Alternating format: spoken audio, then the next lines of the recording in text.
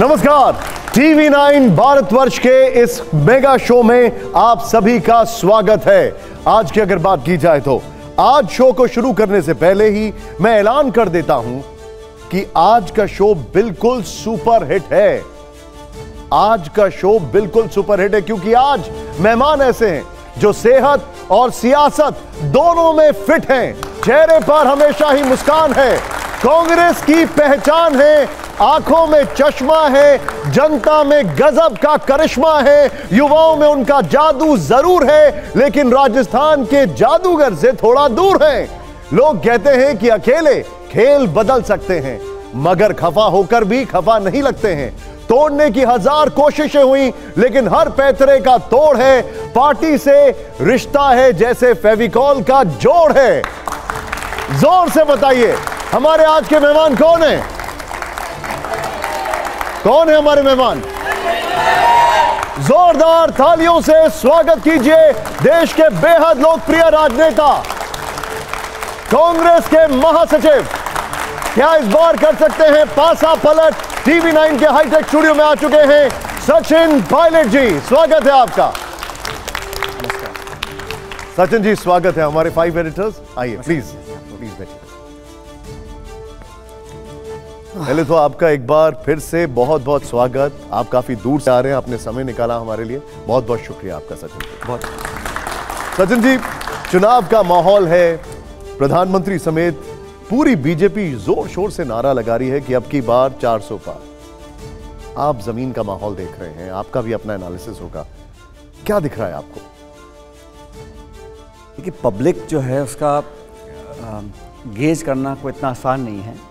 और सब प्रोफेशनल लोग करते हैं पोलिंग करते हैं ओपिनियन पोल्स लेते हैं रुझान आते हैं। लेकिन मुझे लगता है कि जनता बहुत समझदार है और अपना मन देती नहीं है। अम, 2004 में जब चुनाव हुए थे तब सब सोच के बैठे थे कि वाजपेयी जी का आना तय है। किसी को डाउट ही नहीं था। इंडिया शाइनिंग एक बहुत बड़ा व्यापक अभियान चला था। उस समय परिणाम बिल्कुल विपरीत आए थे। और अभी भी आप जैसे कह रहे हैं कि बीजेपी दावा कर रही है 200 पार 300 पार 400 पार। अगर इतना उनमें आत्मविश्वास होता, खुद के दम पर इतना बहुमत पाने का तो वो नाना प्रकार के दलों को, नेताओं को तोड़कर जोड़ने की कोशिश नहीं करते, एनडीए को रिवाइव नहीं करती। मत भूलिए, चार साल तक भाजपा ने सिंगल हैंडेडली गवर्न किया। जब इंडिया अलायंस का गठन हुआ, तब उनको लगा कि हमारा वोट परसेंटेज इस अलायंस के सामने बहुत कम है तो उन्होंने एनडीए को दोबारा रिवाइव किया, लोगों को जोड़ा कॉम्प्रोमाइज़ किया और आज भी वो एक एक दल एक एक नेता एक एक सीट पर लोगों को जोड़ रहे हैं। ये दिखलाता है कि वास्तविकता को पहचान रहे हैं और नारा कोई भी दे लेकिन अल्टीमेटली जज तो जनता है और जिसका बटन दबेगा वही राज करेगा। देखिए उन्होंने तो एक 400 पार का नारा दे दिया है। आप लोगों का नारा क्या है? क्या आंकड़ा आप देख रहे हैं? कोई तो आंकड़ा होगा आपका। देखिए आंकड़ा मैं बताता हूँ आपको। जो इंडिया अलायंस पार्टनर्स हैं एक दो से हमारा गठबंधन नहीं हुआ लेकिन जो दो दर्जन पार्टीज़ हैं उनका वोट शेयर अगर आप जोड़िएगा तो लगभग पैंसठ परसेंट वोट 2019 में पड़ा है। इंडिया अलायंस पार्टनर की पार्टीज़ का जो वोट है और बीजेपी एनडीए का जो वोट शेयर है, वो 35 परसेंट है।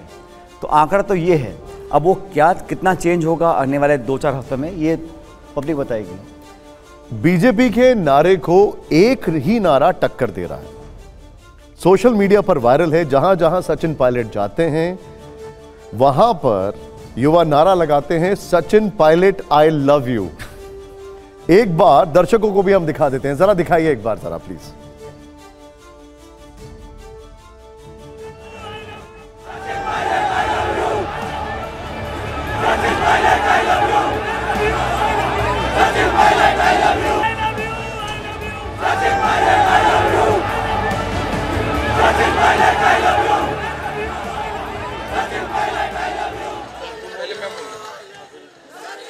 सुना आपने Sachin Pilot I love you I love you ये नारा लग रहा है। सचिन जी नेहरू जी इंदिरा गांधी जी राजीव गांधी जी अटल बिहारी वाजपेयी जी नरेंद्र मोदी जी देश में इतने पॉपुलर नेता हुए हैं। लेकिन आज तक कभी भी ऐसा नहीं हुआ कि नेता मंच पर हो और आई लव यू के नारे लगे। आप मेरी खिंचाई क्यों कर रहे हैं मुझे बताइए। हम तो तारीफ़ कर रहे हैं सच्ची में तारीफ़ कर रहे हैं। ऐसा कुछ नहीं है। कभी कहीं पब्लिक मीटिंग में जाते हैं लोगों में जोश होता है लोग अलग अलग नारे लगाते हैं लेकिन इसको इतना सीरियसली मत लीजिएगा आप आप- आपने जो सुना है ये ठीक है कभी कोई बोल देता होगा लेकिन इनको बहुत ज़्यादा इसमें ध्यान देने की मैं समझ ज़रूरत नहीं लेकिन लोग कह रहे हैं कि मोहब्बत की दुकान राहुल जी ने खोल रखी है और सामान सचिन जी का बिक रहा है। एक ही टीम के हम लोग भाई सामान मैं बेचूं वो बेचे दुकान मैं खोलूं वो बंद करें एक ही बात है लेकिन जो कॉन्सेप्ट है वो ये है कि हम निश्चित रूप से जो इतना युवा वर्ग इस देश में जो अधिकांश मैं समझता हूँ जागरूक है समझदार है उन लोगों को अपनी सोच अपनी पॉलिटिकल आइडियोलॉजी और अपनी रोड मैप को अगर हम जितना ज़्यादा उनको बताएँगे उनको अपनी तरफ़ आकर्षित करेंगे और ये हर पार्टी करती है। लेकिन मैं ऐसा मानता हूँ कि कांग्रेस ने हमेशा समय को ध्यान में रखते हुए आ, अपने आप को ढाला है और वही काम हमको आज भी करना पड़ेगा अगर युवाओं की वोट को हमें आकर्षित करना है। और ये सिर्फ़ एक एक मैं अकेला या एक दो या पाँच नेता नहीं पूरी पार्टी को करना चाहिए और पूरे देश में हम लोग करेंगे। अच्छा भीड़ की अगर बात की जाए तो राहुल जी की जो भारत जोड़ो यात्रा है उसमें भी भीड़ दिख रही है। लेकिन लोग कहते हैं कि इससे राहुल जी की तो छवि मज़बूत हो रही है कांग्रेस की नहीं हो रही है। क्या ये बात सही बात गलत है। देखिए जो पब्लिक है किसको वोट करती है इसकी गारंटी कोई नहीं ले सकता। लेकिन हमारा एज अ पॉलिटिकल एक्टिविस्ट काम क्या है? जनता तक जाना, बात को रखना, स्पष्टता से। और एज अ रिस्पॉन्सिबल विपक्ष, हम लोग विपक्ष में आ जाएँ तो जवाबदेही तय करना, सवाल पूछना पब्लिक इश्यूज़ को जनता में उठाना। कभी कभी लोग ध्यान डाइवर्ट करने की बातें करते हैं। हम लोगों को मुख्य धारा में जो जनता से जुड़े मुद्दे हैं, महँगाई के, बेरोजगारी के, निवेश के, रोज़गार के, शिक्षा के, चिकित्सा के, सड़कों के इन इश्यूज़ को लेकर जाएँ, उस पर संवाद हो, उसकी रिपोर्ट कार्ड को खंगाला जाए, उस पर हम कहें भी किसने कितना काम किया अल्टीमेटली पब्लिक जज करेगी। लेकिन कांग्रेस या विपक्ष का हमारा एक बड़ा दायित्व है और लोकतंत्र में जितनी ज़िम्मेदारी सत्ता पक्ष की है, उतनी ही विपक्ष की भी होती है। तभी तो तराजू होता है और जब तक विपक्ष, जैसे हम लोग अपना काम करते हैं, हम पूरी ताकत से करते हैं अल्टीमेटली जनता के हाथ में है। लेकिन कांग्रेस का, विपक्ष का ये दायित्व है, ज़िम्मेदारी है फ़र्ज़ बनता है कि हम पब्लिक इश्यूज़ को टेकअप करें और सरकार को हम हर उस मुद्दे पर कटघरे में खड़ा करें जो लाइन से हट कर है। और ये अक्सर हुआ है, मैंने देखा है, जो भाजपा की सरकार केंद्र में दस साल हो गए आज दस साल में अपना ट्रैक रिकॉर्ड अपने किए गए वादे और उनके जो कमिटमेंट्स हैं, उनको अगर आप पूरा नहीं कर रहे हैं तो सवाल पूछने का अधिकार हमको है। वो मुद्दा डाइवर्ट करते हैं जज्बाती मुद्दों के ऊपर, भावनात्मक मुद्दों के ऊपर उससे लोगों का ध्यान भटकता है। लेकिन जो मूलभूत इश्यूज़ हैं उनको प्रासंगिक रखना ये विपक्ष की ज़िम्मेदारी है। हमारे एडिटर्स यहाँ पर हैं। सबसे पहले ये आपका सवाल। मेरा तो सवाल सबसे बड़ा ये है कि जरा सी भी कटुता आपके अंदर क्यों नहीं है? इतने सालों में इतने सारे लोगों को इतनी कड़वाहट के साथ में अलग अलग पार्टियों से हमने जाते हुए छोड़ते हुए देख लिया। पाँच साल पहले मुझे लगता है कि हम सब इस बात से सहमत होंगे कि राजस्थान का मैंडेट आपके नाम पे मिला था, आपकी मेहनत पे मिला था, आपको मुख्यमंत्री का चेहरा रखते हुए मिला था। उसके बाद में भी जिस तरीके की जनता को लगता है कि नाइंसाफ़ी आपके साथ में हुई, उसके बाद में भी आपके मन में कोई कड़वाहट नहीं है, ये संभव कैसे है? क्या कारण है? और अगर ये पॉलिटिकल अंडरस्टैंडिंग के साथ में है तो क्या आपके मन में है जिसमें आपको लगता है कि नहीं अभी इसी तरीके से चलना बेहतर है। वाह देशमुख जी वाह। आपने जो है ऐसा सवाल किया है। देखिए ये हर इंसान पर निर्भर करता है कि आ, उसकी उसकी पर्सनैलिटी क्या है उसका व्यक्तित्व कैसा है और वो अपने आप को किस प्रकार के नेता के रूप में पहचान देना चाहता है। कितने पद हैं देश में? कितने नेता बने हैं? विधायक सांसद मंत्री मुख्यमंत्री प्रधानमंत्री? कितनों को लोग याद करते हैं? आ, मुझे लगा कि आपने कुछ बातें बोली मैं उस पर नहीं जाना चाहता हूँ कि मेरा अनुभव ये है राजनीति में मैं मेरे को भी अब 25 साल हो गए करते करते कि सर पे बर्फ़ और मुँह में शक्कर तो बिल्कुल ठंडे दिमाग से मीठा बोलकर अपना काम निकालना चाहिए और हमारा अल्टीमेट उद्देश्य क्या है? देखिए पदों पर बहुत से लोग पहुँच जाते हैं। क्या वो कोई इम्पैक्ट छोड़कर जाते हैं? पदों पर बहुत से लोग चिपके रहने के लिए क्या क्या नहीं करते हैं? लेकिन पब्लिक के जहन में, उनके दिल और दिमाग में क्या कोई छाप छोड़कर जाते हैं? ये सवाल हमें अपने आप से पूछना चाहिए।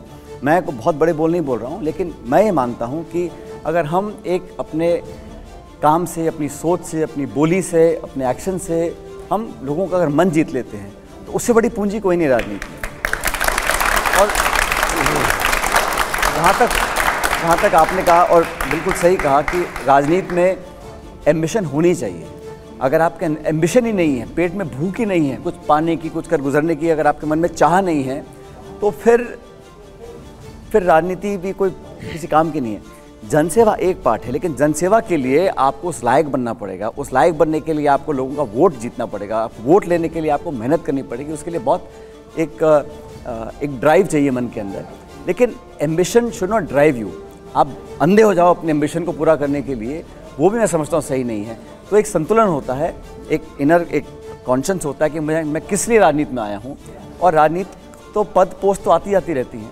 लेकिन पब्लिक से संबंध बना रहे लोग आपके बारे में अच्छी बात सोचें अच्छी बात कहें ये एक चैलेंजिंग टास्क है और इसको पूरा करने में लोगों के पूरा जीवन लग जाता है। बड़ी खूब दिशा में लगा कि सिर पे बर्फ़ और मुँह में शक्कर होनी चाहिए। और यहाँ पर मुझे मन में आग भी दिखाई दे रही है। विनोद सर, आपका सवाल। सचिन वो बहुगुड़ा जी के बारे में कहा जाता था कि was the best prime minister India never had तो अगर एक पैरेलल ड्रॉ करना उचित तो नहीं होता। कंपैरिजन आर ऑलवेज ओडियस नहीं करने चाहिए।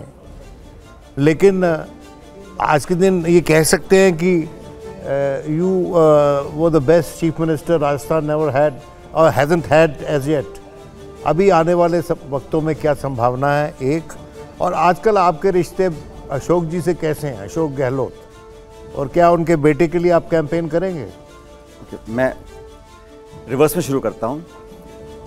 वैभव गहलोत के लिए मैं 100 परसेंट कैंपेन करूँगा पूरी ताकत से कैंपेन करूँगा। वो मेरी पार्टी का उम्मीदवार है।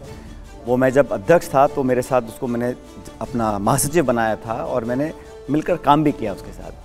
मेरा उन और वैभव गहलोत की उम्र का फ़र्क को एक डेढ़ साल से छोटे मेरी उम्र में वो तो क्यों नहीं करूँगा पहली बार? जब पिछली बार वो चुनाव लड़े थे जोधपुर से, मैं प्रदेश का अध्यक्ष था। नामांकन मैंने भरवाया था उनका और मैंने पूरी ताकत के साथ उनकी पैरवी करी थी दिल्ली के अंदर। तो जो आपका सवाल है, मैंने ख्याल उसका मैंने आंसर दे दिया कि मेरे रिश्ते कैसे हैं। मेरे किसी से कभी रिश्ते बुरे नहीं हैं। वैचारिक मतभेद हो सकते हैं ऑब्जेक्टिव को पूरा करने के रास्ते कौन से हैं, उस पर अपनी अलग अलग मत हो सकते हैं। लेकिन कभी किसी के सम्मान में कमी, कभी कटुता, कभी कड़वे शब्दों का प्रयोग, या कभी किसी को कम इज़्ज़त देना, ये मेरे आचरण में नहीं है, मेरे संस्कार में नहीं है।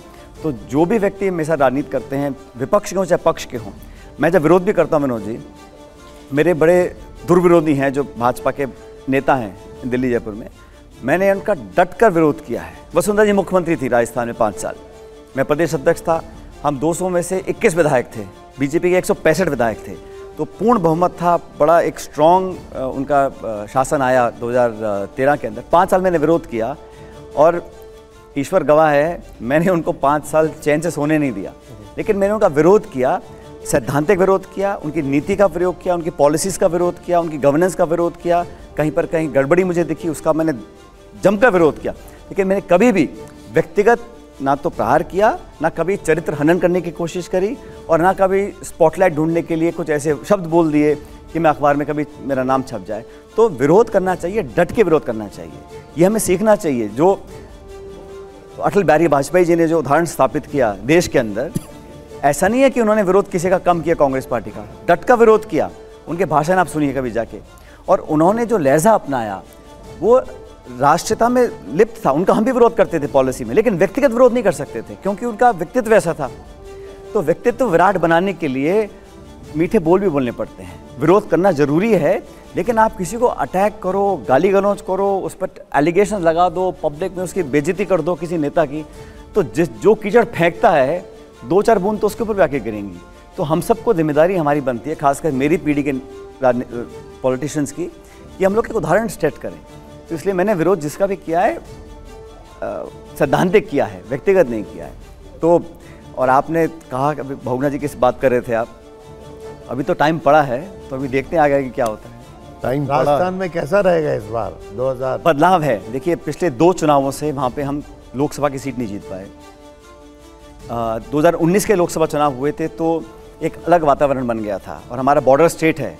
तो सरहद पर एक्शन हुआ, उससे एक अलग तरह की भावना पैदा हुई, उसका जो परिणाम हमने देखा। लेकिन इस बार मुझे लग रहा है कि 10 साल की एंटी इनकम्बेंसी हो गई और 25 सांसद भाजपा के जीत के गए। मुझे खेदे कहते हुए कि इन्होंने प्रदेश के लिए कुछ नहीं किया। इसलिए लोग अब थोड़ा बदलाव चाहते हैं, थोड़ा चेंज चाहते हैं और हम लोगों ने जब तक कैंडिडेट डिक्लेयर किए हैं, अच्छे और साफ़ छवि के लोगों ने मैदान में उतारा है तो हम कॉन्फिडेंट कि हम लोगों का परफॉर्मेंस इस बार अच्छा रहेगा पहले से। अब कांग्रेस ने जो सचिन जी, अभी तक टिकट बांटे हैं। उससे संदेश साफ़ है कि जो सीनियर लीडर्स हैं, वो चुनाव नहीं लड़ना चाह रहे देखिए, मुझे बाकी पार्टियों को पता नहीं, कांग्रेस में कम से कम डिस्कशंस के बाद फीडबैक लेने के बाद, सर्वे भी हम कराते हैं लोकल नेताओं से चर्चा करते हैं। और फिर जो जिस सीट पे सबसे उपयुक्त व्यक्ति होता है सिर्फ़ इलेक्शन कोई पॉपुलैरिटी कॉन्टेस्ट नहीं है। इलेक्शन समीकरण का आगे से कौन लड़ रहा है, कौन सीट निकाल सकता है, कौन किस मौके पर कई बार पार्टी ने मुझे चुनाव लड़ने को कहा है लोकसभा का कई बार कहा है विधानसभा का। आज मुझे संगठन ज़िम्मेदारी दे रखी है छत्तीसगढ़ की। तो हम लोग अलग अलग समय पर जिसको जो जहाँ उपयुक्ता होती है उसको चुनाव लड़वाते हैं। और सब चुनाव लड़ रहे हैं। हमारे बहुत से सीनियर लीडर चुनाव लड़ रहे हैं कुछ संगठन के लिए काम कर रहे हैं। तो ये कहना गलत है। कमलनाथ जी सीएम कैंडिडेट थे चुनाव नहीं लड़ना चाहते। Ashok Gehlot ji CM candidate CM थे कैंडिडेट भी थे चुनाव नहीं लड़ना चाहते सीएम थे वो तो। एक मिनट मैं दूँ आपने दो उदाहरण दिए दोनों बड़े गलत उदाहरण हैं। कमलनाथ जी नौ बार सांसद चुने जा चुके हैं अशोक गहलोत जी पाँच बार सांसद चुने जा चुके हैं। तो ये बोलना कि वो चुनाव नहीं लड़े नहीं लड़ सकते हैं बड़ा इस बार की मैं बात कर रहा हूँ। इस बार उनका बेटा सिटिंग एमपी है वो चुनाव लड़ रहे हैं बल्कि सवाल उठता अगर वो चुनाव नहीं लड़ते उनके पुत्र वो सिटिंग मेंबर पार्लियामेंट है क्यों नहीं लड़ेंगे चुनाव? क्या सचिन पायलट लोकसभा का चुनाव लड़ेंगे इस भाई बार? अभी तक तो पार्टी ने मुझे ऐसा नहीं कहा है लेकिन जब भी मुझे कहा गया है कुछ काम करने के लिए मैंने पूरी ताकत पूरी शिद्दत से किया है। मुझे ज़िम्मेदारी आज दे रखी है एक स्टेट की जहाँ का मैं महासचिव हूँ। लेकिन जब भी देश में जहाँ भी प्रचार करने को मुझे कहा जाता है मैं वो भी करता हूँ। और निश्चित रूप से मेरी पहली जो रिस्पॉन्सिबिलिटी है वो मेरे होम स्टेट की है। तो वहाँ पर भी हम मैक्सिमम सीट जीत कर आए। आपकी निजी राय पूछना चाहते हैं। हूँ निजी राय का मतलब ही नहीं होता। निजी राय तो विनोद जी ने जो बात बोली निजी राय तो बहुत कुछ होती है लेकिन निजी राय पर राजनीति नहीं होती। ठीक है। स्मृति ईरानी फिर से राहुल गांधी जी को अमेठी से चुनाव लड़ने की चुनौती दे रही है। क्या राहुल गांधी इस चुनौती को स्वीकार करेंगे? कोई चुनौती दे दे मोदी साहब को कि आप जाके वायनाड से चुनाव लड़ो। तो लड़ेंगे क्या? ये चुनौती क्या होती है? कोई कुश्ती थोड़ी ना है। पॉलिटिकल पार्टी है इलेक्शंस हैं कौन कहाँ से सांसद है किस पार्टी ने किसको कहाँ की ज़िम्मेदारी दे रखी है? ये तो हमारा पार्टी का मसला है ना। ऐसे ज़िम्मेदारी आप चुनाव लड़िए ना कोई ना कोई तो हम लड़वाएँगे जिसको आपका क्या सजेशन होगा? मेरा सजेशन है आप अपने पाँच साल के ट्रैक रिकॉर्ड पर चुनाव लड़ो जनता के बीच जाएँ और हमारा इंडिया अलायंस है हम चुनाव लड़ेंगे और वहाँ आप देखिए दो हाथ करते हैं देखते कौन जीतता है। अब जिनका ट्रैक रिकॉर्ड नहीं है पहली बार चुनाव लड़ना चाहती हैं प्रियंका गांधी जी की चर्चा है कि वो रायबरेली से शायद चुनाव लड़ सकती हैं या लड़ना चाहिए आपका क्या सुझाव होगा? अगेन इसमें व्यक्तिगत राय नहीं है। अगर पार्टी और मैं मानता हूँ कि पार्टी उनका पूरा उपयोग करेगी।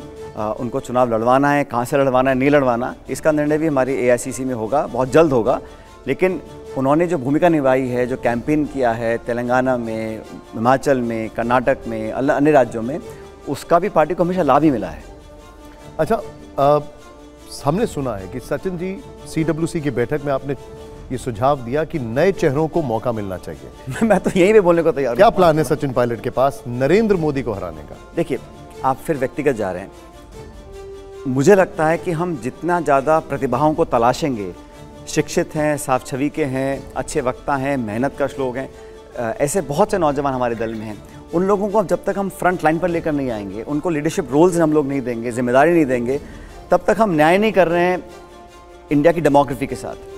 हमारे यहाँ औसत उम्र अगर 27 साल है इस देश में तो हमारे सांसद विधायक और बड़े पदों पे जो लोग हैं उनकी उम्र कम क्यों नहीं हो सकती? और ऐसा नहीं है कि यंग लोगों में टैलेंट नहीं है या यंग लोगों में आ, कुछ कर गुजरने की वो क्षमता नहीं है। लेकिन उनको जब तक हम प्लेटफॉर्म प्रोवाइड नहीं कराएँगे तो जो मेरे हाथ में था मैं राजस्थान का अध्यक्ष था मैंने तमाम नौजवानों को एमएलए के टिकट देने की कोशिश करी। इस बारे में मैंने बहुत तो अभी करी। तक जो जो हुआ है टिकट डिस्ट्रीब्यूशन आप सहमत हैं? आपकी सलाह बिल्कुल। हर डिस, हर डिसीज़न में हमसे विस्तारित चर्चा हुई कई कई बार हुई और सबसे सलाह लेने के बाद जो निष्कर्ष हुआ उसी का परिणाम ही हमने जो अपने उम्मीदवार उतारे हैं। ठीक है। बट यंग पीपल के लिए आई हैव ऑलवेज सेट कि भाई जितना ज़्यादा मौका दोगे और दूसरी बात जितने यंग लोगों को अपने चुनाव में उतारा विधानसभा में राजस्थान के अंदर अधिकांश लोग जीत कर आए रामकृपाल जी।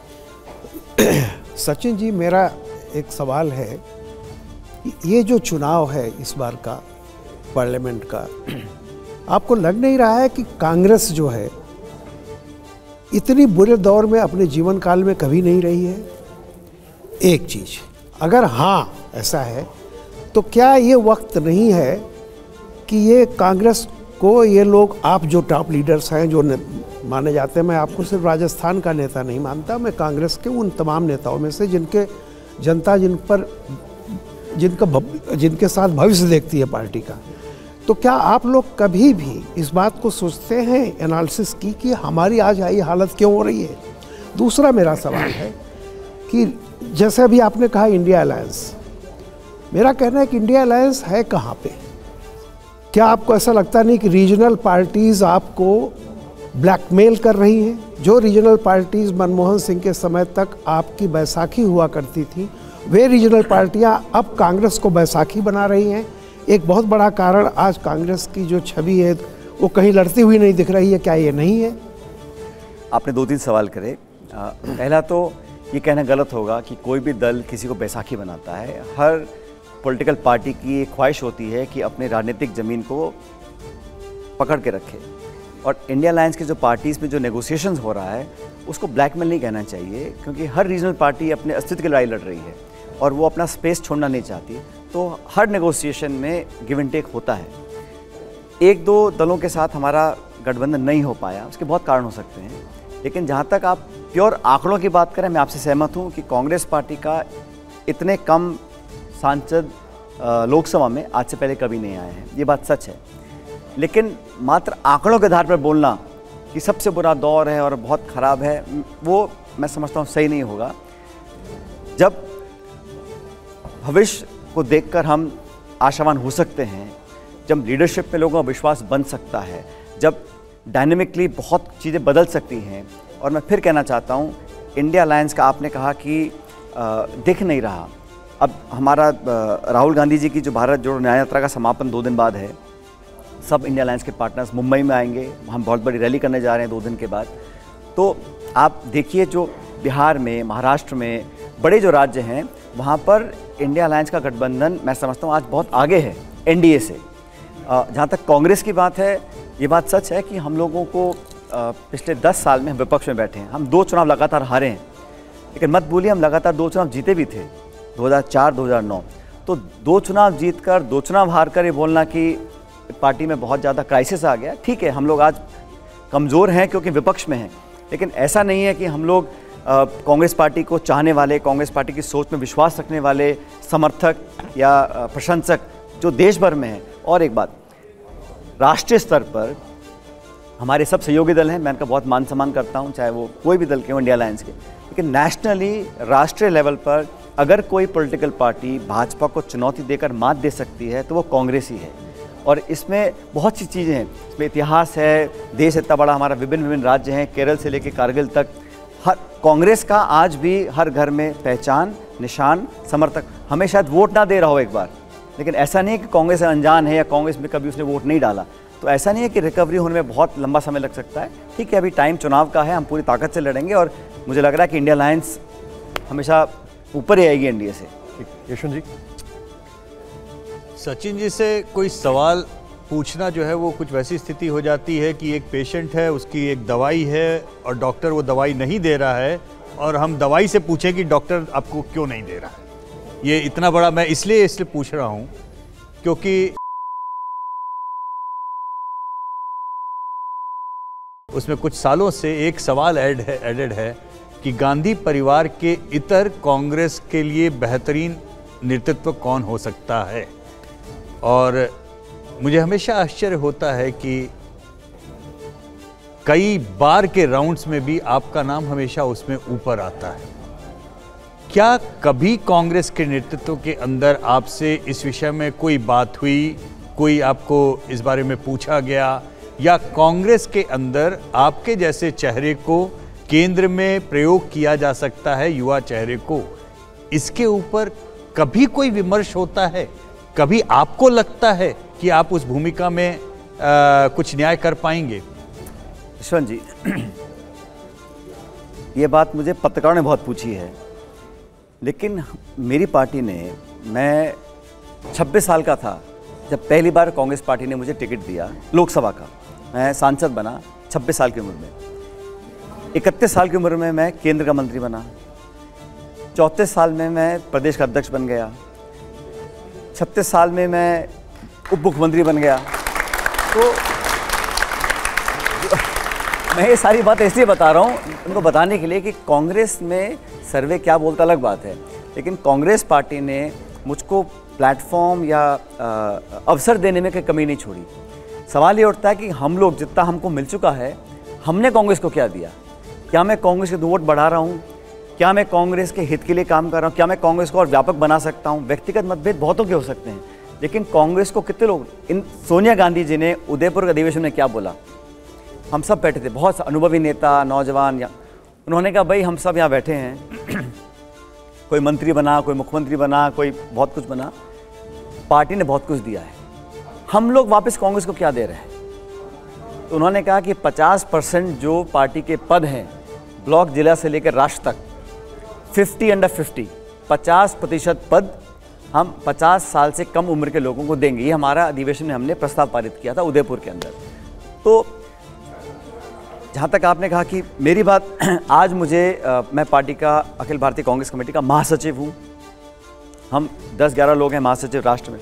तो ये कहना कि नेशनल लेवल पर मेरा उपयोग नहीं हो रहा है बड़ा गलत होगा। देश का कोई ऐसा कोना नहीं है जहाँ मुझे पार्टी के लिए भेजा नहीं जाता काम करने के लिए। और, आज मैं एक राज्य का प्रभारी हूँ, महासचिव हमारे यहाँ, सबसे बड़ी पोस्ट होती है अध्यक्ष के बाद। तो उस इतने इंपॉर्टेंट वर्किंग कमेटी में महासचिव मुझे पार्टी ने बनाया है तो उसका एहसास मुझको भी है, पार्टी को भी है। मसला ये है कि हम पदों पर बैठे हैं, लेकिन हम पार्टी के लिए हम क्या योगदान दे पा रहे हैं? इतना बड़ा हवा ने मेरी आहुति क्या है उसके अंदर? ये मुझे आत्मचिंतन करना चाहिए। मुझे भी हम सब नेताओं को करना चाहिए। जिन्होंने 30-40 साल से पार्टी का बहुत कुछ लिया है, उन सब लोगों को आज अगर थोड़ा त्याग करना पड़े, थोड़ा बलिदान देना पड़े, थोड़ी मेहनत और करनी पड़े तो यही समय है। और मैं ऐसा मानता हूँ कि नेतृत्व निखरने के लिए, निखारने के लिए सबसे उपयुक्त समय होता है विपक्ष में रहना। मैं पाँच साल विपक्ष में रहा, यशवंत जी, उससे पहले मैं केंद्रीय मंत्री रहा, सांसद रहा। लेकिन जो राजनीतिक गहराइयाँ, जो जड़ें, जो लोगों से जुड़ाव विपक्ष में रहकर मुझे हासिल करने का मौका मिला, वो सत्ता में रहकर नहीं मिला। और आप सब भी जानते हैं, जो आपने पहला स्टेटमेंट बोला था कि मेरा जो पाँच साल का जो कार्यकाल रहा राजस्थान में, वहाँ मैं जेल में गया, धरने दिए, प्रदर्शन किए भूख हड़ताल करी, घेराव किया, लाठी खाई, खून पसीना बहाया उन पाँच सालों में, उससे लोगों से जुड़ाव बनता है। कार्यकर्ताओं के मन में आप जगह बना पाते हो। तो विपक्ष में रहकर बहुत कुछ एक नेता अपने आप के लिए हासिल कर सकता है। अब अब एक, पहले तो जोरदार तालियाँ हो जाए इसके लिए, और अब अब एक बहुत इंटरेस्टिंग राउंड है सचिन जी। मैं वहाँ पर जाऊँगा, एक रैपिड फायर और आपको तस्वीरें दिखाऊँगा। आपको सवाल के साथ एक तस्वीर को चूज़ करना है। क्या आप लोग तैयार हैं रैपिड फायर के लिए? जोरदार तालियाँ हो जाए पहले। हर सवाल पर आपको हौसला बनाना है। आइए जरा, इस रैपिड फायर राउंड को शुरू करते हैं। ये देखिए, अब जो मेरा पहला सवाल इस वक्त आ रहा है सीधे। मेरा पहला सवाल जो इस वक्त आ रहा है प्ले ऑन करिए इसको। मेरा पहला सवाल दिखाइए जरा। बेहतर राजनेता कौन? सचिन जी ज्योतिरादित्य सिंधिया गुलाम नबी आज़ाद या अशोक चौहान? बेहतर राजनेता कौन? इनमें से कोई भी कांग्रेस में तो है नहीं। तो कोई अच्छा राजनेता भी नहीं है? नहीं है। सभी अच्छे हैं लेकिन जो मेरी पार्टी में नहीं है उनके बारे में क्या टिप्पणी करूँ मैं? ठीक है सर थोड़ा माहौल बनाइए थोड़ा जोरदार तालियाँ चलिए। क्या आप लोग अगले सवाल के लिए तैयार हैं? तैयार हैं अगले सवाल के लिए? आवाज़ नहीं आ रही मुझे। अगला सवाल प्ले ऑन करिए जरा यहाँ पर। हमारा अगला सवाल है बेहतर प्रशासक कौन? अब ये तो कांग्रेस में ही अशोक गहलोत और भूपेश बघेल जी। दोनों बहुत अच्छे हैं। दोनों बहुत अच्छे। जोरदार तालियाँ हो जाए जरा। अगला सवाल दिखाइए जरा प्ले ऑन करिए। कांग्रेस का दोस्त कौन है? ममता बनर्जी या मायावती? ये दोनों अगर सच्ची दोस्ती कर लें तो हमारा गठबंधन का जीतना 100 परसेंट तय है। अभी दोनों दोस्त नहीं है? एक आधे हैं एक चौथाई में है। ठीक है। जोरदार तालियाँ हो अगले सवाल के लिए जरा। अगला आंसर प्लीज़ आपको ये सवाल बनाता कौन है आपके लिए मुझे बताइए। सर मैं आपको मिलवाऊँगा शो के बाद उनसे। दिखाइए जरा आइए जरा। अब हमारा जो अगला सवाल है वो ये है दूरदर्शी नेता कौन है? आपकी निजी राय। देखिए मैंने दोनों के साथ मैंने काम किया है। राहुल जी अध्यक्ष रह चुके हैं प्रियंका जी महासचिव हैं। और इन दोनों की जोड़ी बहुत बेहतर है और इसी जोड़ी के साथ काम करना है। ठीक ओके। अब अगला सवाल जरा ध्यान से देखिएगा और मैं चाहूँगा इसका जवाब दीजिएगा। और जरा जोरदार पहले तालियाँ हो जाए। दिखाइए जरा। राजस्थान में प्ले करिए जरा। राजस्थान में कांग्रेस का चेहरा कौन है?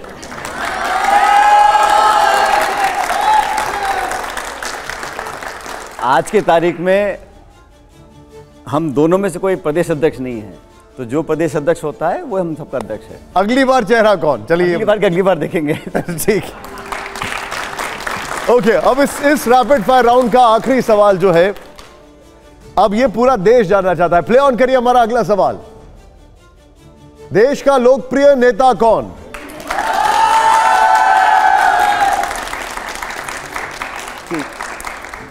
आप मेरे पूछ रहे हैं आप जी मैं आप ही की राय पूछ रहा हूँ। मुझे लगता है कि राहुल गांधी जी एक ऐसे नेता हैं जो लड़ाई लड़ रहे हैं मुद्दों की और सच्चाई की।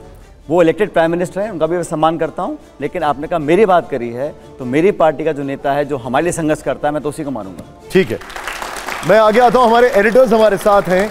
राजेश जी आप, आपका सवाल सचिन जी से प्लीज़ तो मैं थोड़ा सा दर्शकों को भी इन्वॉल्व करना चाहता हूँ इस सवाल में। राजनीति आप बेहतर जानते हैं कि अपने एडवर्सरी को आप आ, उसकी कमियाँ और उसकी खूबियाँ उससे वाकिफ हों। भारतीय जनता पार्टी पलक झपकते ही अपने नेताओं को यहाँ से वहाँ कर देती है। घर बिठा देती है बड़े बड़े कद्दावर नेताओं को किनारे कर देती है। कहीं कोई बगावत नहीं होती है। आप लोग कांग्रेस के लोग आप सब लोग सुन रहे हैं ना? ये जो झगड़े हैं टीवी कैमरे के सामने क्यों सुलटाते हैं सड़क पे क्यों सुलटाते हैं क्या इनको सड़क पे सुलटाना चाहिए या नहीं? जवाब दीजिए पहले। राजनीति के झगड़े अंदर कमरे के सुलझाने चाहिए जैसे कि भारतीय जनता पार्टी करती है या कांग्रेसियों की तरह कैमरे के सामने लड़ना चाहिए बताइए हाँ या ना? ओके अब मैं सचिन जी से सवाल लेता हूँ। सचिन जी आपका सवाल। आपने सवाल मुझसे आपसे पूछा पूछा है। हाँ। तो झगड़े के लिए तो दो लोग चाहिए होते हैं ना। जी। एक व्यक्ति कुछ बोले दूसरा कुछ ना बोले उसको झगड़ा बोलेंगे क्या हम लोग? मैंने कोई झगड़ा नहीं किया। पहली बात। बगावत की। पहली बात। वो अलग इशू है मैं आपने झगड़े की बात करी। दूसरी बात भारतीय जनता पार्टी में आपने बड़ा प्रशंसा करी कुछ मर्दी कर दीजिएगा कोई उफ नहीं बोलता। प्रशंसा नहीं की ये तथ्य बताए। मैं आपकी आप मेरी बात सुन ना शांति से? हाँ। आपने कहा कि बड़ी खूबी है उनके अंदर कि वो बड़ा निर्णय ले लेते हैं कोई कुछ बोल नहीं पाता और ये है वो है। आप उनसे पूछिए जो आज उस पार्टी में बैठे काम कर रहे हैं उनके दिल पे क्या बीतती है। हमारी पार्टी में हो सकता है कोई हम लोग विरोध कर दें किसी एक निर्णय का लेकिन एक ज्वलंत डेमोक्रेटिक पार्टी के अंदर बोलना कहना सुनना अगर वो समाप्त हो जाएगा और सिर्फ़ कदम ताल होगी तो वो एक अच्छा उदाहरण नहीं है लोकतांत्रिक पार्टी के लिए। अनुशासन होना चाहिए। मैं आपकी बात से सौ परसेंट सहमत हूँ। बड़े निर्णय लेने के लिए बड़ा दिल होना चाहिए और पार्टी का अनुशासन सबसे ऊपर होना चाहिए और सब पे लागू होना चाहिए। ये अनुशासन ऐसा नहीं है कि इनके लिए इन पे ना हो, पहली बार लेकिन वो पार्टी का अलग काम करने का तरीका है और हमारी पार्टी का अलग काम करने का तरीका है। आज वो सत्ता में हम विपक्ष में तो आप लोग बोल सकते हैं आपको लाना दे सकते हैं कि वो बेहतर है। लेकिन मैं मानता हूँ कि हमारी पार्टी में डिस्कशन डिबेट डिलिब्रेशन असहमति, इसको लोग इनक्रेज करते हैं, दूसरे दल में नहीं करते हैं, सुनने की ताकत नहीं है, आलोचना सुनने की हिम्मत नहीं है, कड़वे शब्द बोलने सुनने का वातावरण नहीं है। और जब तक आप अपनी बात बोले नहीं, आप, हम डिस्कशन जब करते हैं, बड़े हीटेड डिस्कशंस होते हैं। यहाँ तक कि जब सोनिया जी हों और राहुल गांधी भी हों, हम लोग अगर सहमत बोल देते हैं, राहुल गांधी खुद बोलते हैं, भाई आप सहमत नहीं तो बोलो हम बोलते हैं, टेबल पीट पीट के बोलते हैं। और ये मुझे लगता है कि एक पार्टी के लिए अच्छी बात है कि आप बोलने का उसमें अधिकार है स्पेस है आपको इनकरेज किया जाता है। आपके मुँह बेटे लगा के बैठा दें और सिर्फ़ हाथ ही खड़े कर रहे हैं तो कहीं नौकरी कर लेते फिर राजनीति करने का क्या मतलब है? एक छोटा सा सवाल इसमें एक बस एक छोटा सवाल ये है। आप जेंटलमैन हैं सब लोग मानते हैं इस बात को। आज की जो राजनीति है उसमें जनता जेंटलमैन को प्रेफर करती है स्ट्रीट फाइटर को? वाई कांट बी बोथ क्यों भाई? मैं जेंटलमैन हूँ लेकिन आपने मेरा विपक्ष का रवैया देखा नहीं राजस्थान में। मैंने ऐसा फाइट किया है कि बड़े बड़ों के सिंहासन हिल गए थे। लेकिन मुख्यमंत्री सहित? लेकिन लेकिन कांग्रेस के मुख्यमंत्री सहित? नहीं नहीं। सर आप- सर हाँ, मैं जवाब दें मैं बोलना चाह रहा मैं विपक्ष में जब था और जब मैं पक्ष में भी था क्योंकि आपने बोला इसलिए बोल रहा हूँ मैं मैं पक्ष में भी था तो इतना कलेजा मेरे में था कि जो मैंने कहा मैं उस पर अडिग रहा।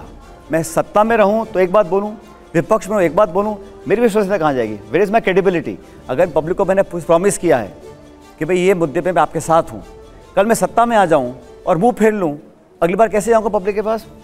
अगर मैं करप्शन मैंने स्टैंड लिया है पेपर लीक पे मैंने स्टैंड लिया है पार्टी के मैनिफेस्टो में स्टैंड लिया है और मैं कुछ कर नहीं पा रहा हूँ सत्ता में बैठ के, मैं क्या मुँह लेके जाऊँगा वोट डालने के लिए वोट मांगने के लिए?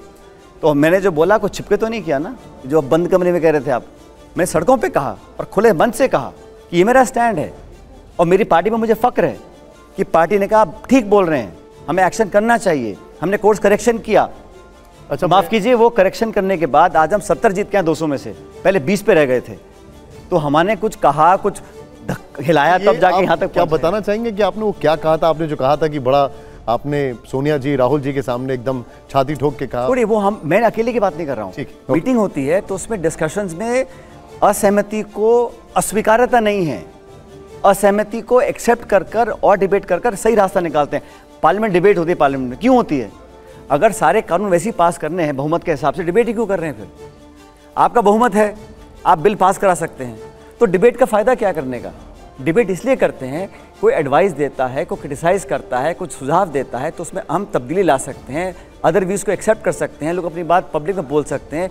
उन सारे व्यूज़ को असिमुलेट कर कर एक अच्छा मंथन करने के बाद एक एक बिल निकलता है, कानून निकलता है। और हर मीटिंग में डिस्कशंस के बाद कुछ अच्छा परिणाम आएगा।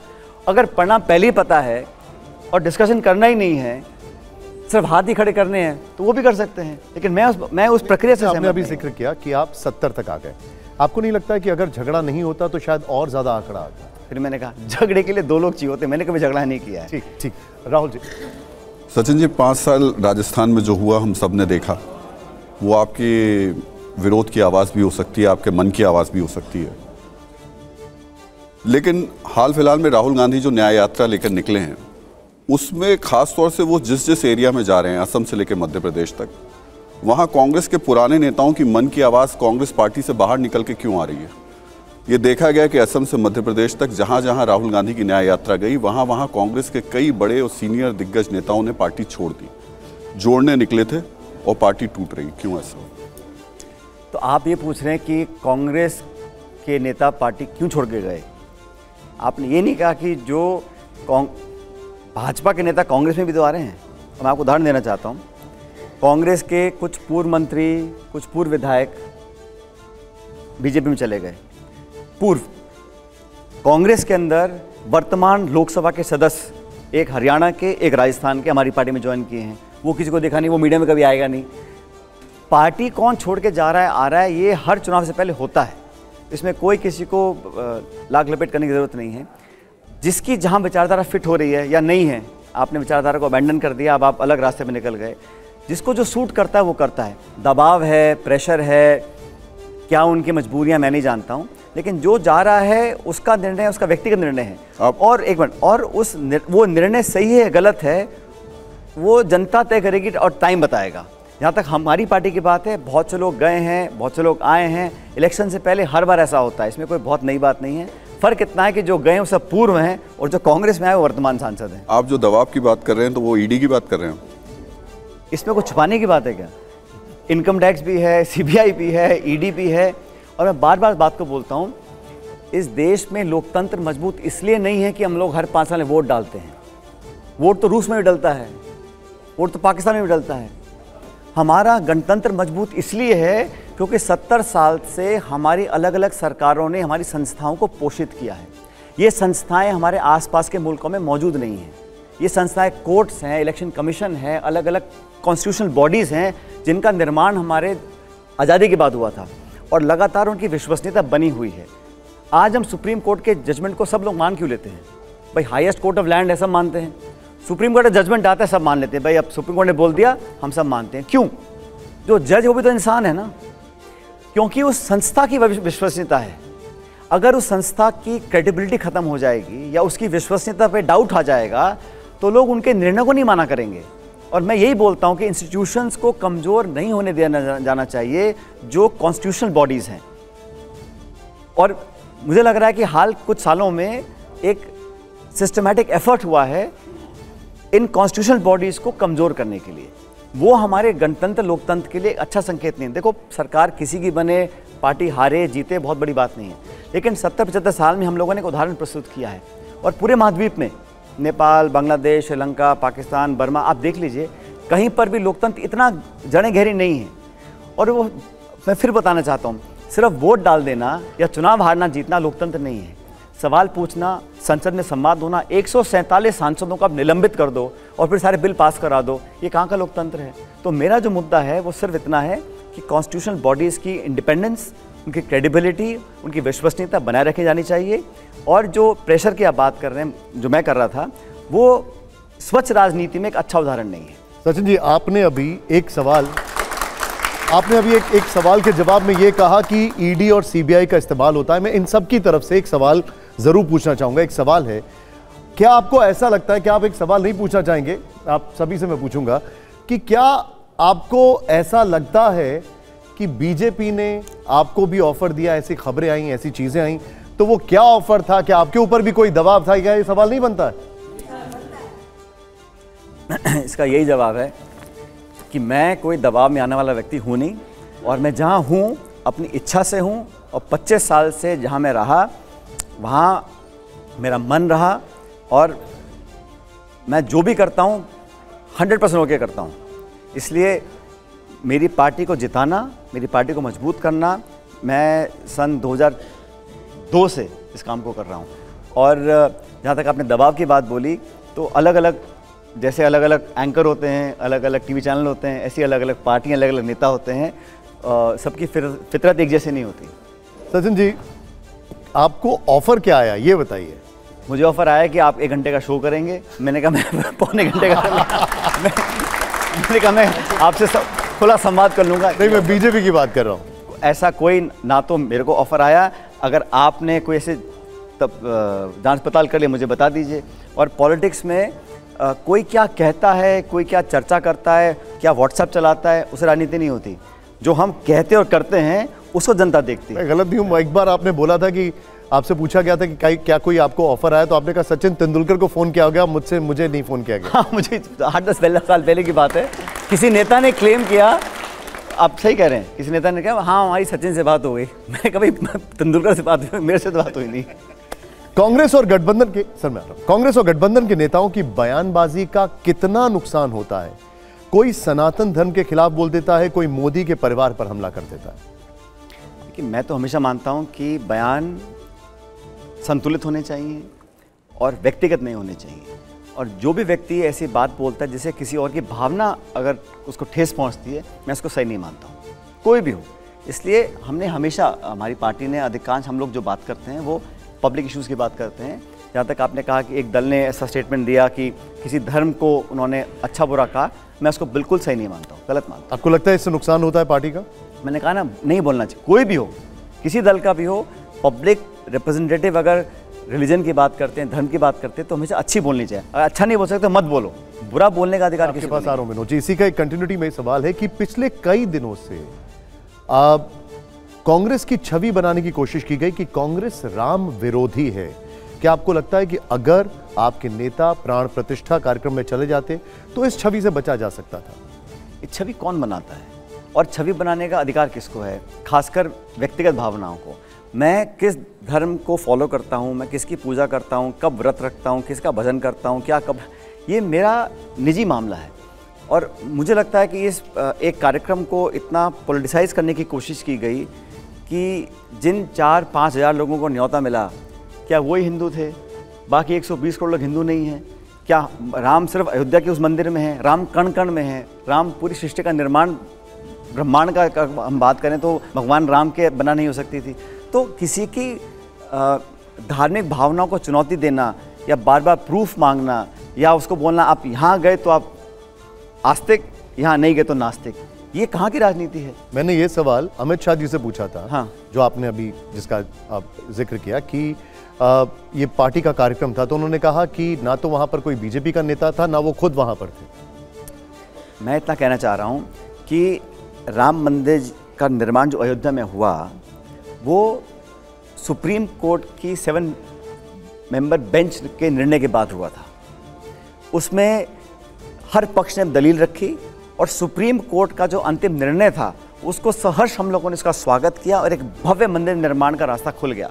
सब पूरे देश में लोग इस बात को अच्छा मानते हैं, खुशी मानते हैं। इसमें कोई दो राय नहीं है, कोर्ट के आदेश के बाद। अब उस कोर्ट के आदेश का श्रेय को लेना चाहता है, कोई व्यक्ति, कोई दल, कोई सरकार तो मैं गलत मानता हूँ, पहली बात। दूसरी बात, अगर प्राण प्रतिष्ठा करनी है तो मुझे लगता है कि जिस प्रकार से इनविटेशन जाते हैं, उसकी एक लिस्ट बनती है, उद्योगपति है, अभिनेता है, चर्चित व्यक्ति है तो वो बनाता कौन है लिस्ट आपको इनवाइट आया है क्या? आपको आया? नहीं मुझे कोई मैं तो कवरेज पे था वहाँ पर। तो आप तो कवरेज पे था। तो ये जो छटनी करना है कि ये बुलाना है नहीं बुलाना ये अधिकार किसके पास है? किसने दे रखा है? मंदिर है। हम सब जा सकते हैं। मैं भी जाऊँगा जब मेरा मन करेगा। सौ बार जाऊँगा। लेकिन उस दिन जाना है उसके न्योते पे जाना मन कब हो रहा है? आप कब जाएँगे वहाँ? जब मर्ज़ी जाऊँ आपको क्यों बताऊँ मैं? और राहुल गांधी कब जाएँगे वहाँ अरे भाई मैं कह रहा हूँ मंदिर में जाकर अपॉइंटमेंट थोड़ा लेना पड़ता किसी को। मैं कल वैष्णो देवी जा रहा हूँ तिरुपति जा रहा हूँ। मेरी इच्छा है मेरी आस्था है। मेरा मन है। इसमें इसमें टीवी एंकर या कोई राजनेता क्यों मुझसे पूछेगा कि जाना है कि नहीं जाना है? ठीक है आपका पर्सनल पर्सनल मैं तो इतना नहीं मैं इतना कह रहा हूँ इस देश में अब चुनाव आ रहे हैं तो तेल का दाम दो रुपये कम कर दिया गैस का सिलेंडर कम कर दिया। नौ साल से क्यों जनता के प्राण पी रहे थे हम लोग? क्यों महँगाई थी- आसमान में चढ़ा रखी थी? ऐतिहासिक बेरोजगारी आज देश के अंदर है। और आंकड़ों पे चुनाव लड़ना चाहिए ना सिर्फ़ भाषणों पे चुनाव नहीं लड़ा जाता। विनोद जी। दो सवाल है। थोड़े लीक से हटके देखिए कभी कभी राजनीति में जो प्रतिद्वंदी होता है, उससे भी मोहब्बत हो जाती है कि उसके खिलाफ लड़ने में मज़ा आता है। राजस्थान में वसुंधरा जी के साथ लड़ने में तो मज़ा आता होगा। स्ट्रांग लीडर थी। आज के दिन राजस्थान में अगर देखें भाजपा की तरफ़ तो सब नए नवेले छेरे हैं। और किसी के पास वसुंधरा जी वाली वो ग्रेविटास जिसको बोलते हैं, वज़न नहीं है। एक तो ये और दूसरा अभी आपसे इतने सवाल भगवान श्री राम पे पूछे गए। और मेरा व्यक्तिगत ये परसेप्शन है कि भारतीय जनता पार्टी एक सतह पे चुनाव उस तरह लड़ रही है जिस तरह चुनाव एनटीआर लड़ते थे या एमजीआर लड़ते थे। फ़िल्मों में जो उन्होंने रोल अदा किए होते थे, हमारे इष्ट देवों के, उस तर्ज पे वो इलेक्शन लड़ते थे। तो भारतीय जनता पार्टी काफ़ी हद तक उस तर्ज पे ना सिर्फ़ नॉर्थ में, पर साउथ में भी लड़ रही है।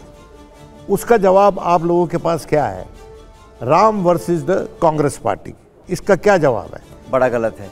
नो बडीज अगेंस्ट राम, पहली बात। पॉसिबल ही नहीं है।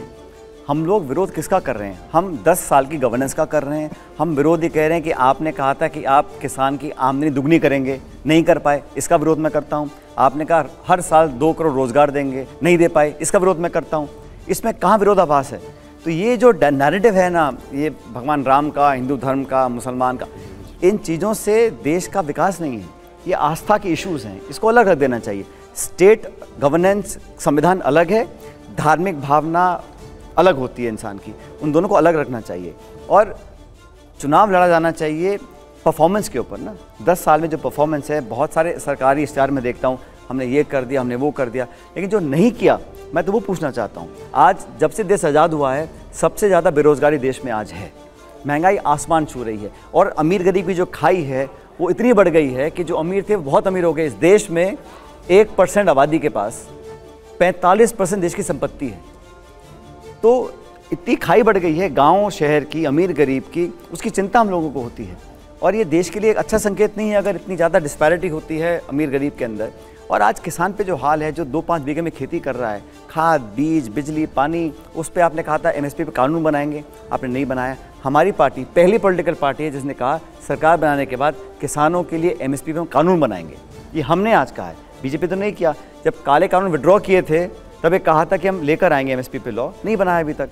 तो वादा खिलाफी हुई है बहुत से जुमले दिए गए हैं। अब मैं तो पंद्रह लाख पंद्रह लाख खाते की तो बात ही नहीं करता भी नहीं बनाए। वसुंधरा जी पे तो जवाब नहीं दिया। कौन से वाला? Do you miss Vasundhara Raje as नहीं प्रिंसिपल राइवल ऐसा है बीजेपी किसको मुख्यमंत्री बनाएगी उनकी मर्ज़ी है। आ, लेकिन आप सही कह रहे हैं कि जब मुकाबला होता है तो प्रतिद्वंदिता होती है तो एक मज़बूत व्यक्ति के साथ होनी चाहिए लेकिन बीजेपी के मुख्यमंत्री हैं अभी नए नए बने हैं देखते हैं कैसा काम करते हैं। फ़िलहाल तो उनका मामला जम नहीं रहा राजस्थान के अंदर लोग ऑलरेडी तंग आ चुके हैं और बदलाव होगा। लेकिन मैं ऐसा मानता हूँ विनोद जी कि what goes up must come down समय एक नहीं रहता है। और मैं तो मानता हूँ लोग लोगों को राजनीति में तब तक रहना चाहिए जब तक लोग आपको पसंद कर रहे हैं। लोग आपको चाह रहे हैं आपके वर्कर आपके समर्थक आपके मतदाता। बोझ बन के नहीं रहना चाहिए। मन मार के ज़बरदस्ती नखून गाड़ के खींच के वहीं बैठे रहो वहीं चढ़े रहो लोगों को पड़े रहो। वो उसका कोई मज़ा नहीं है उसमें कोई चाम नहीं है। ये किसी को मैसेज दे रहे हैं क्या आप? नहीं मैं तो इनका जवाब दे रहा हूँ। अच्छा। सचिन जी कांग्रेस का कहना है कि बीजेपी ने करोड़ों रुपए खर्च करके राहुल गांधी जी की छवि खराब की है। आप उनके बहुत पुराने दोस्त हैं। असली राहुल गांधी कौन है? कैसे हैं? क्या शौक हैं? क्या किताबें पढ़ते हैं? उनके बारे में जानकारियाँ कम आ पाती हैं। मैं उनका दोस्त नहीं हूँ हमारे नेता हैं, पार्टी के अध्यक्ष रहे हैं इलेक्टेड प्रेसिडेंट रहे हैं, उनके साथ मैंने काम किया है पिछले बीस एक सालों में। लेकिन ये बात सही है कि सोशल मीडिया और अन्य नाना प्रकार के तरीक़ों से उनके इमेज को बहुत ज़्यादा डैमेज करने की कोशिश की है। और ये बात सब जानते हैं। और इतना टारगेट करने के बावजूद भी वो साढ़े चार हज़ार किलोमीटर पैदल चले इस देश में। केरला से कश्मीर तक लाखों लोगों से मिले हैं और जितनी मेहनत के साथ लोगों से जुड़ाव करने की वो कोशिश कर रहे हैं, शायद और राजनेता नहीं कर पाएँगे। इसलिए कोई कितना भी कहे, लेकिन उस यात्रा ने और उसके बाद और पहले भी उन्होंने अपना कमिटमेंट और अपना मेहनत और लोगों से जो जुड़ाव है, वो कभी छोड़ा नहीं है। लेकिन सचिन जी, लोग ये जानना चाहते हैं उनके बारे में कि वो सारी चीज़ें जो सामने नहीं आती, उनकी कैसी शख्सियत है क्या शौक हैं, कौन सी चीज़ें पढ़ने का शौक है अ, अगर देखिए किसी के व्यक्तिगत जीवन के बारे में टिप्पणी करना या सवाल जवाब करना मैं नहीं मानता हूँ। एज ए पब्लिक फिगर जो वो कहते हैं वो हम देखते सुनते हैं। बाकी उनकी व्यक्तिगत लाइफ में वो क्या करते नहीं करते हैं ये मैं उनका एक निजी स्पेस है। उसमें ज़्यादा हम लोग डाइवर्स करें वो ठीक नहीं है। बीजेपी की तरफ़ से एक सवाल उठाया गया और वो सवाल ये था कि राहुल गांधी और प्रियंका गांधी के बीच मनमुटाव है। क्या सच अब वो ऐसा है मीडिया में नई नई खबर डालने का उनको एक हर सोमवार को शौक है कि कुछ ना कुछ नया डालना है। अब ये कोर्ट ने ऑर्डर कर दिया कि इलेक्ट्रल बॉन्ड्स इलीगल हैं उसके विस्तारित डेटा दो एसबीआई मना कर रहा है वो छप गया है अब वो वहाँ डाउट करने के लिए किसी को अरेस्ट कर लो किसी का अफवाह उड़ा दो ये कब तक चलेगा? लेकिन ये इस प्रकार की अफवाहों पर हमें ज़्यादा ध्यान देना नहीं चाहिए। रा- रामकृपाल जी आपका सवाल। नहीं मैं मैं सवाल नहीं कोई बात नहीं है। मैं जैसे ये एक चीज़ आपसे ये पूछ रहा था कि जो मैं दोबारा उसी सवाल पे लौट रहा हूँ कि 2024 को- के मान लीजिए जो रिज़ल्ट आ रहा है, जैसा कि सारे ओपिनियन पोल हैं, उसमें आप, ऐसा लगता है कांग्रेस विपक्ष में ही रहेगी। मैं ये कह रहा हूँ कि आगे कांग्रेस का क्या फ्यूचर है, किस तरह से कांग्रेस को आप आगे लोग ले जाएँगे आप लोग? नहीं, आप, मैं आपकी बात से सहमत नहीं हूँ, क्योंकि चुनाव में पहले से ही मान के चलना कि फला पार्टी जीत जाएगी, ऐसा नहीं ओपिनियन पोल कुछ भी कह सकते हैं, लेकिन क्या माहौल बनता है, क्या ओपिनियन पोल्स आज से पहले गलत नहीं आए हैं? सैकड़ों बार ओपिनियन पोल गलत आए हैं। अलायंस हमारा बहुत स्ट्रॉन्ग है और अलायंस का जो केमिस्ट्री है, उसका जो इफ़ेक्ट और आउटकम होगा, उसको हम नहीं कह सकते अभी। मैंने फिर कहा, उन्नीस में इंडिया अलायंस पार्टीज़ का वोट शेयर पैंसठ परसेंट था। मतलब सौ में से पैंसठ लोगों ने एनडीए के खिलाफ वोट डाला था। हमारे यहाँ फ़र्स्ट पास द पोस्ट है। ज़्यादा जिसको वोट मिलेगा, जीत जाएगा। लेकिन अगर वोट इकट्ठा करके, अगर वन इस्ट वन कॉन्टेस्ट होगा पूरे देश में तो चुनाव, मैं समझता हूँ, कांटे का रहेगा और हम जीतने की उम्मीद करते हैं। जहाँ तक कांग्रेस की बात है। अपने आप को री करना ब्लॉक पंचायत लेवल तक लोगों को अपने साथ जोड़ना और जो जनता चाहती है, जो आइडिएशन है, जो एस्पिरेशनल इंडिया है, जो मिडिल क्लासेस हैं, नौजवान हैं, किसान हैं, उनके जीवन को बेहतर, एक कैसा एक बेहतर ब्लूप्रिंट दे सकते हैं, वो जनता जानना चाहती है। पीपल वांट टू नो कि कांग्रेस पार्टी का विजन क्या है। हम लोग रोड मैप क्या तैयार करें? पाँच साल हम लोगों को क्या देंगे? जुमले झूठे वादे नहीं कह रहा हूँ, लेकिन एक्चुअली हम लोग कैसे कर सकते हैं? वो एक सस्टेनेबल एजेंडा जनता के बीच जाना है और मैं समझता हूँ वो सबसे बड़ी प्राथमिकता कांग्रेस पार्टी की रहेगी। ठीक है राहुल जी। सचिन जी बीजेपी जो पिछले कुछ दिनों में इलेक्शंस को लेकर चल रही है वो इलेक्शंस को एक वॉर की तरह करते हैं। अ, कोई भी चुनाव हुआ एक खत्म हुआ और उसके शाम से ही अगले चुनाव की तैयारियाँ शुरू हो जाती हैं। अभी भी बीजेपी की तरफ़ से लगभग 50 परसेंट जो उम्मीदवार हैं उनके घोषित हो चुके हैं।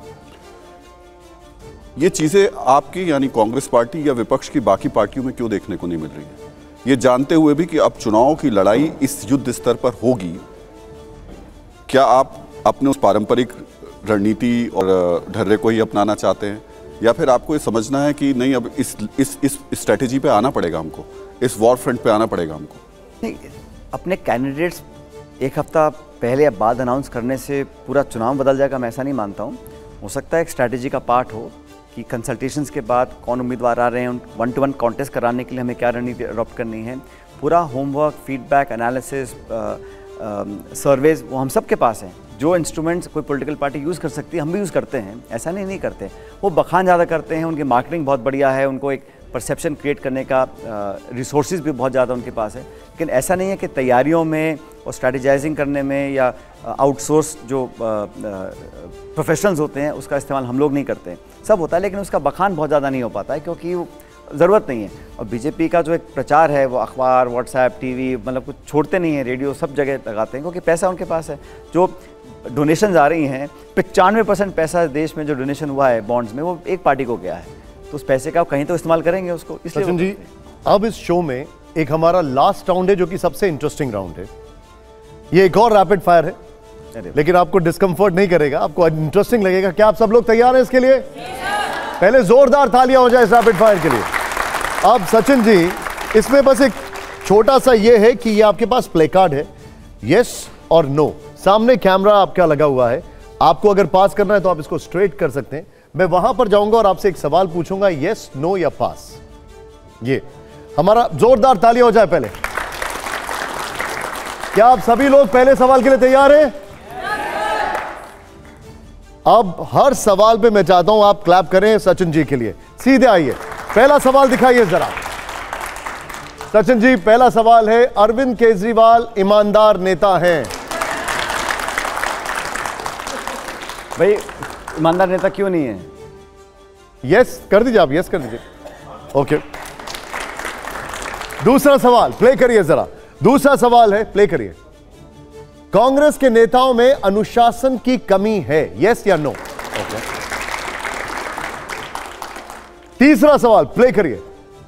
संदेश खाली की घटना के लिए ममता सरकार जिम्मेदार है यस या नो सर पास ऑडियंस जरा जोरदार तालियाँ में कमी आ रही ओके अगला सवाल दिखाइए जरा। इंडिया गठबंधन के गठन में देरी हुई। नो लास्ट एक और सवाल हमारा, दिखाइए जरा। कांग्रेस पार्टी में आरएसएस के एजेंट मौजूद हैं। ये राहुल जी ने बोला था, आप एग्री करते हैं इससे? यस ओके नेक्स्ट सवाल, जोरदार तालियाँ हो जाए जरा। अब अगला सवाल प्ले करिए जरा। हमारा अगला सवाल है, सचिन पायलट ने अशोक गहलोत को माफ़ कर दिया है।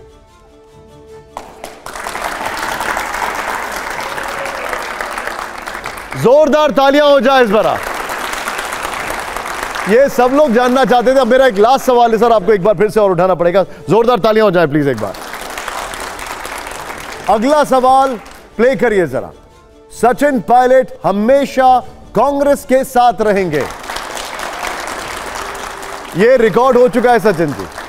Thank you so much Sachin ji का बहुत बहुत जोरदार तालियों से आपका बहुत आभार। Thank you very much Sachin ji. Thank you so much grateful to you